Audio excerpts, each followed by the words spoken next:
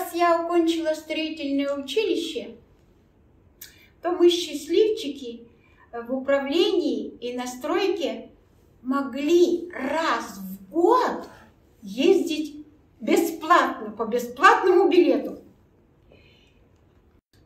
В первый, в первый свой отпуск я еще была такая патриотическая, молодая, и я поехала в Брестскую крепость.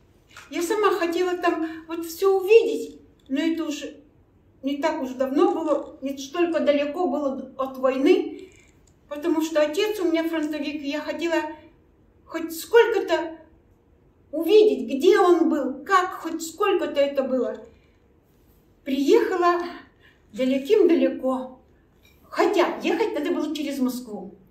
Я подумала, ну там же город, там же надо быть красивой, я что же молодая была. Красивые-то, говорит, не были, молодые-то были, пословица в деревне такая была. Вот и я этой пословице, э, с этой пословицей поехала. Набрала полный чемодан, желтое вязаное платье. Думаю, мало ли, мало ли. Через Москву. Приехала утром. На Брест поезд на завтра. Ну, если задремлешь, чемодан украсть могут. Поэтому я так бдила, бдила. Еще есть хотела. Пришла женщина с кухни в большом бачке, в эмалированном, багровном, принесла сосиски. Вот я одну съем, посижу. Нет, вроде хорошие, вкусные сосиски. Еще. Короче, я за день, наверное, 10 сосисок съела потому что боялась куда-нибудь идти, где-то пообедать. Вот. Э, Все-таки пришел час, как надо ехать на Брест. А поезд чистый, совсем другой, считай, за граница, Брест. Зашла, удивилась, что в туалете есть зеркало и даже, и даже, и даже полотенце с мылом. Никто не крадет. Удивилась очень. Короче, еду. Все было интересно. Приехали. Что же... Да, я в гостиницу устроилась. Там тоже все чисто, красиво.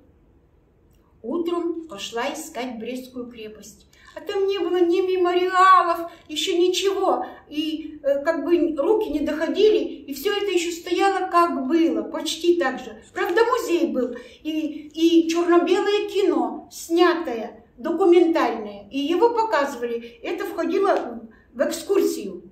Значит, экскурсовод входит, рассказывает, что тут Бук, э, река, и туда люди за водой ходили, и их всех убивали, и что были женщины и роженицы, и как их надо было спасать, и как люди в этом городке приняли на себя первый бой и стояли насмерть. И столько во мне гордости, столько во мне силы за наш народ, за моего отца. И, и, и, в общем, все я там ходила, щупала целую неделю. А еще у города, а у них как-то такие здания, если у нас дом, если он из кирпичей, то крыша деревянная. Э, на нет сходится. А у, а у них как-то этого деревянного нет, а все кирпичи. Ну, по, поуже, поуже, поуже, и вот весь этот лоб у дома тоже кирпичный. Нашла я один такой дом, может он был какой-нибудь э, складом, может он еще чем был, но он весь был выщерблен пулями поглубже и поменьше. А, то есть это вот война, этот дом, эта стена, она пахла войной тем временем, теми трудностями, тем горем. И вот ходила я там, все щупала, смотрела, представляла, что моему отцу тоже был, он был молодой. Представляете, он отслужил в армии, и надо было ему идти домой, мобилизоваться, и началась война. А потом, как Он был гвардии сержант, заряжающий на «Катюша». А хлюпиков туда не принимали, потому что снаряд-то больше 30 килограмм и грохот. А если в плен попадешь, просто каких-нибудь, э, ну, слабых людей э, характером и не брали туда, вдруг будут пытать, вдруг... В общем, отец у меня был герой. Он закончил войну в Австрии. А потом всем бы домой и опять, говорят, на малую землю. Самолетом их увезли, и там еще Бреж... Брежнев писал о малой земле. Еще там три или четыре месяца война была. И вот представляете, счастливая я, отец мой живой вернулся, чтобы меня родить. Я придумала, что, наверное, его звали домой ласточки-береговушки. Когда он уходил на войну, у него не было моей мамы невесты, у него не было матери и отца, он был сирота. И ему и домой-то не, не к чему шибко спешить. А главное, друзья, они оставляли его все и говорили, да у нас такие красивые девки, найдешь у нас доярок или, кто, или кого, оставайся, оставайся, ты наш друг, проверенный войной, мы на тебя надеемся, молодой, сильный, ты нам нужен, оставайся у нас.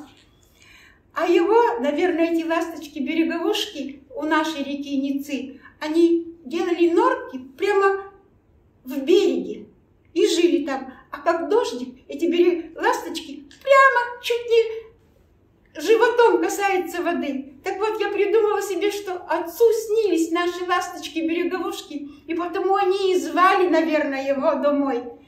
Приехал домой.